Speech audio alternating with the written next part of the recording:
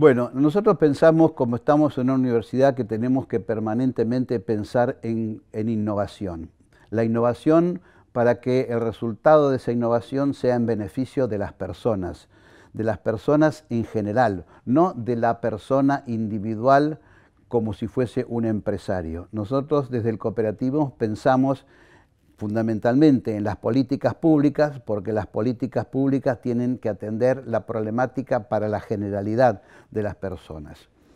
Por lo tanto, cuando nosotros captamos algo muy interesante, tratamos de teorizarlo y si podemos teorizarlo, podemos generalizar el tema. Es decir, cuando descubrimos una cooperativa que funciona muy bien, como en el caso de una cooperativa social que atiende a las personas de una manera adecuada, de una manera racional, que al Estado le conviene transferir eso, vemos ese ejemplo, tratamos de generalizarlo, de teorizarlo, y una vez teorizado se puede aplicar a cualquier sitio del país.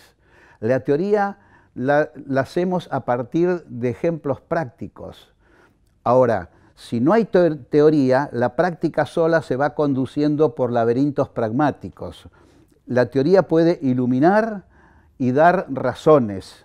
Eh, ahora, una teoría sin la práctica, estamos haciendo teoría para otros, no para nuestro país. Y nosotros necesitamos hacer teorías para resolver los problemas nuestros y para que el Estado los pueda asumir como políticas públicas. ¿Y por qué los puede asumir como políticas públicas? Porque el cooperativismo tiende al bienestar general, o la economía social, más que el cooperativismo, tiende al bienestar general.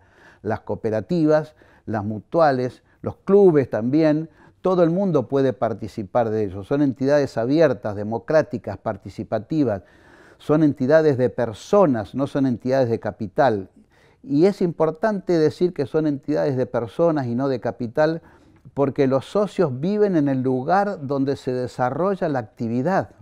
En cambio, una entidad de capital, el dueño de la empresa puede estar en cualquier parte del mundo y tener los intereses económicos en un lugar.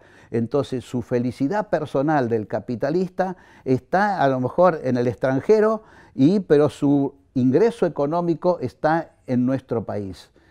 Lo que le interesa es el ingreso económico, no le interesa el bienestar del entorno. ¿Mm? Esto pensando de una manera, lo lleva a un pensamiento egoísta. No quiere decir que haya una maldad natural, lo quiere decir que sus intereses personales no coinciden en general con los intereses de los vecinos o de la gente donde está radicada una empresa lucrativa. En cambio, los intereses personales de un asociado, una cooperativa, coinciden con los intereses del conjunto porque vive allí.